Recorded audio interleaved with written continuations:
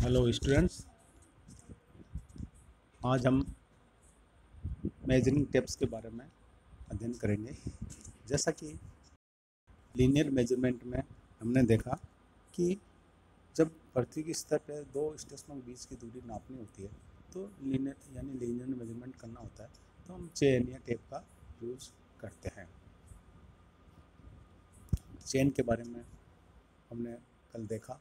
कि चेन कई तरह की होती है और उससे भी स्टेशनों के बीच की दूरी नापते हैं। लेकिन चेन से उतनी एक्यूरेसी के साथ दूरी नहीं नाप पाते इसलिए टेप का भी यूज़ करते हैं सर्विंग में लीनियर मेज़रमेंट करने में। Tapes are use for more accurate measurements the tapes are classified based on the material of which they are made of such as tape किस मेटेरियल की बनी हुई है उस, उसी के अकॉर्डिंग उसका नाम दे दिया गया है, जैसे क्लॉथ और linen tape fibre tape metallic tape steel tape invar tape हर एक का एक एक करके हम देखते हैं कि किस तरह सर्वे में काम आती है लिनर मेज़रमेंट करने में। क्लॉथ और लिनन टेप सिंपल नाम से ही जाएगा कि ये कपड़े की बनी हुई होती है। Linen tapes are closely woven linen and varnish to resist moisture कपड़े की बनी होती है और ये भीगे नहीं, भीगने के बाद ख़राब नहीं हो, इसलिए इसके ऊपर सतह पर वार्निश किया हुआ होता है। They are generally ten metre twenty metre twenty five metre thirty metre long in length and twelve to fifteen metre wide जो इसकी कपड़े की पट्टी होती है वो बारह से पंद्रह एम एम चौड़ी होती है और ये टेप सब दस, बीस, पच्चीस और तीस मीटर की लंबाई में they are general use for offset measurements, offset लेने में उनका काम मिल लिया ये टे, ये टेप्स है, ये फीते हैं, ये लाइट और फ्लेक्सिबल होते हैं। लेकिन ये चूँकि कपड़े के बने होते हैं, इसलिए फ़ील्ड में काम करते हैं, इनसे मेज़रमेंट लेते हैं तो इनके कटने फटने का ज़्यादा डर होता है और ये इनसे बहुत ज़्यादा एक्यूरेट डिस्टेंस नहीं नाप सकते हैं, क्योंकि ये इनमें खिंच, कभी खिंचाव ज़्यादा आ जाता है और तो डिस्टेंस है वो नापने में त्रुटि रह जाती है। डायग्राम में लिनिंग टेप बताया हुआ है। एक चमड़े का केसिंग है, उसके अंदर इसको फोल्ड कर लेते हैं, समेट लेते हैं। इसके एंड में एक हुक लगा हुआ है। यह हुक भी इसकी लंबाई में शामिल होता है। इसको समेटने की एक डिवाइस भी इसके साथ है इस केसिंग के साथ, चमड़े के केसिंग के साथ लगी रहती है और जिसे समेट लिया जाता है।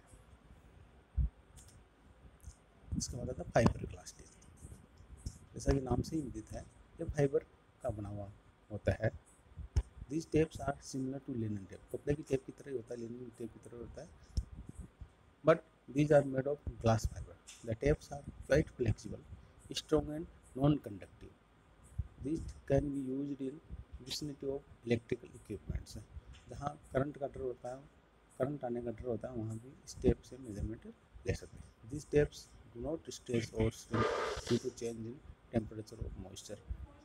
These tapes are available in length of 20 meter, 30 meter, 50 meter lengths.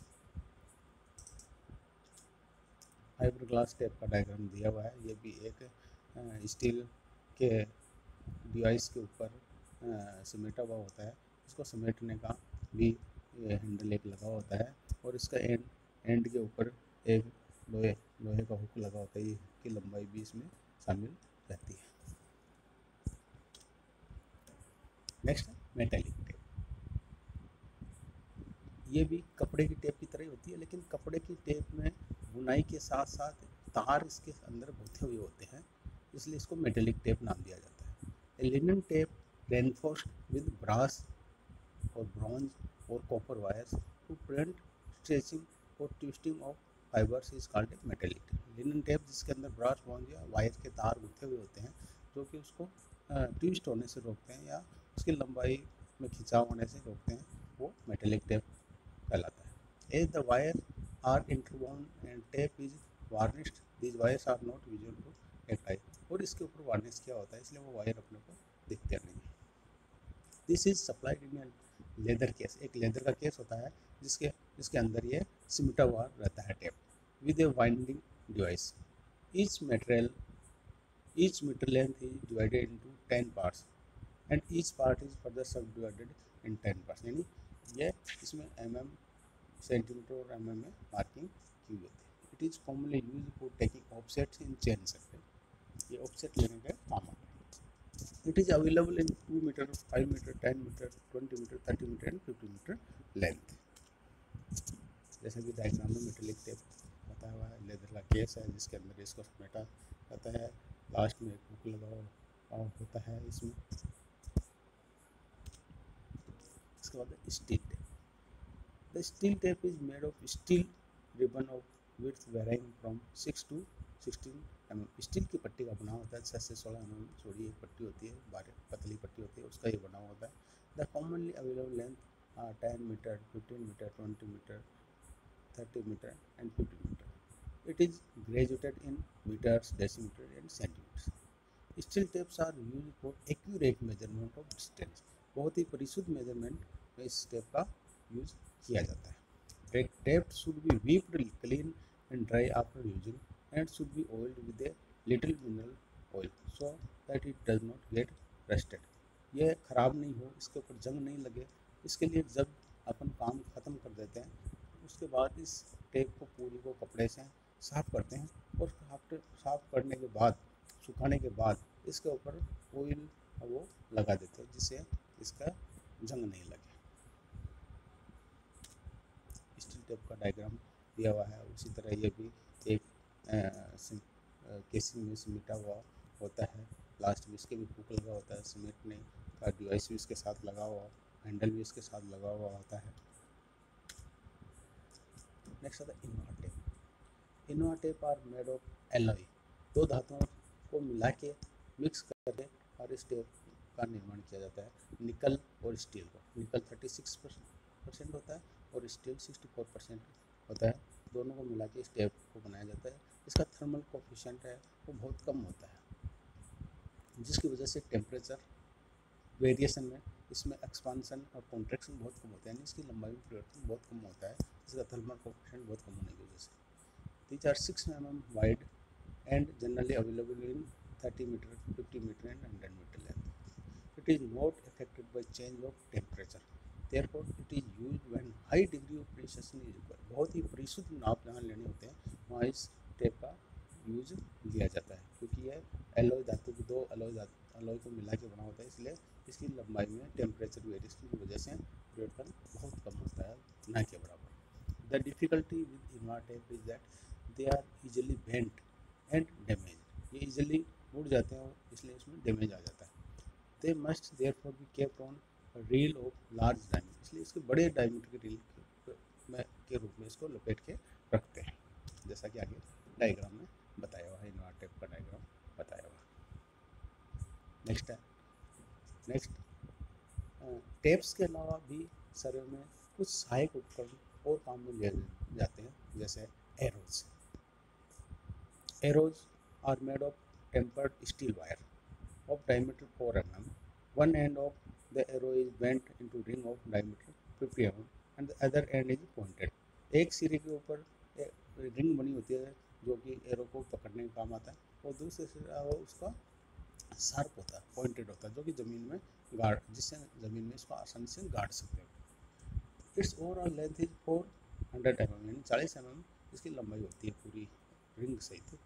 Arrows are use for counting the number of chain while measuring a chain line जब चेन लाइन को चेन के द्वारा मेज़र करते हैं तो एक चेन पूरी होने के बाद एक एरो उसके हैंडल के आगे लगा देते हैं ज़मीन में।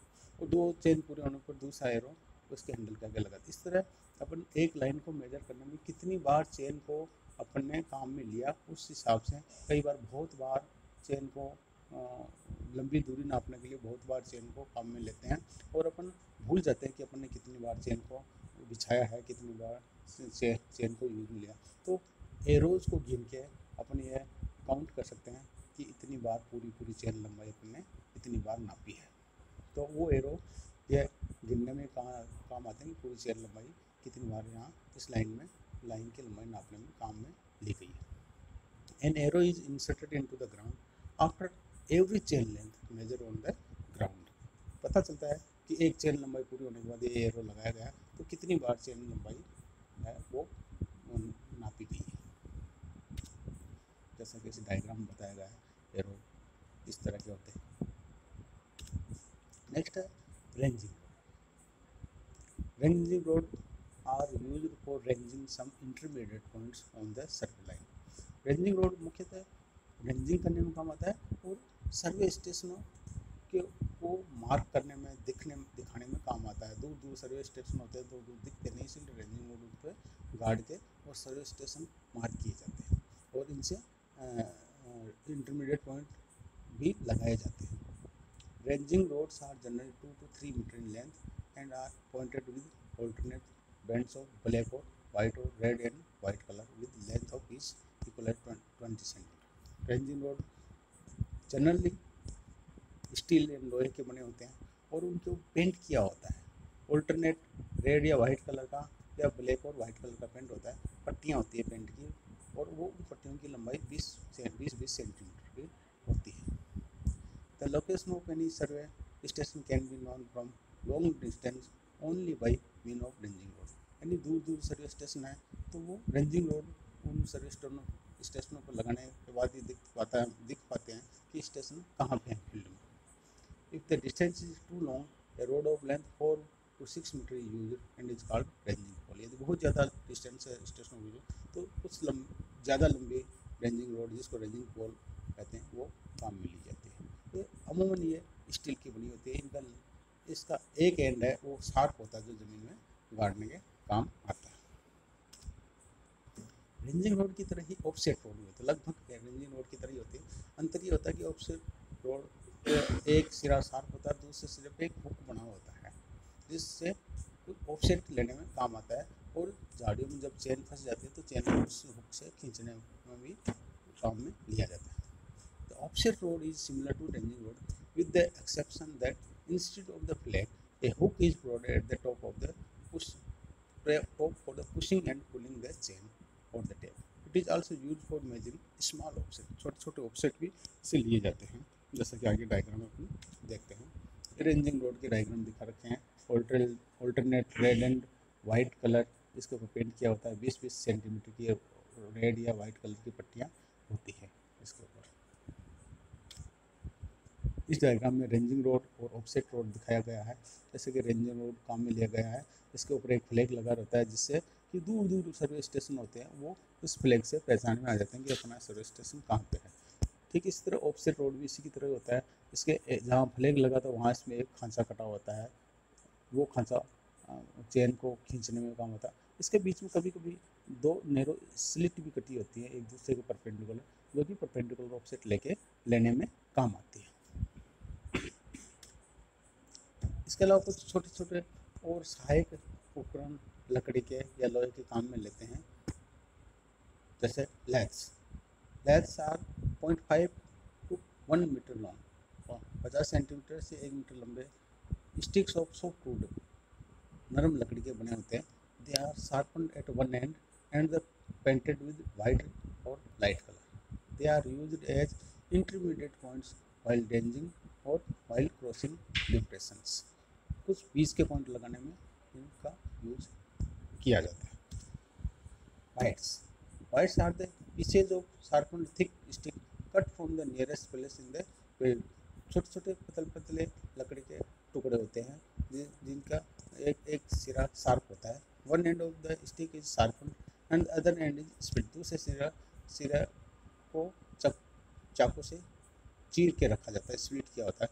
White paper are inserted in the split to improve the vision और उस चीरे हुए सिरे के ऊपर, दूसरे सिरे पर वाइट पेपर लगा देते हैं, जिससे ये ये दूर से ही हमारे को दिखाई दे जाते हैं। Whites are also use for the same purpose as जिसका लेथ का यूज़ वैसे ही वाइट को भी यूज़ में लिया जाता है। छोटे छोटे माप लेने में इंटरमीडिएट पॉइंट दिख रहे हैं।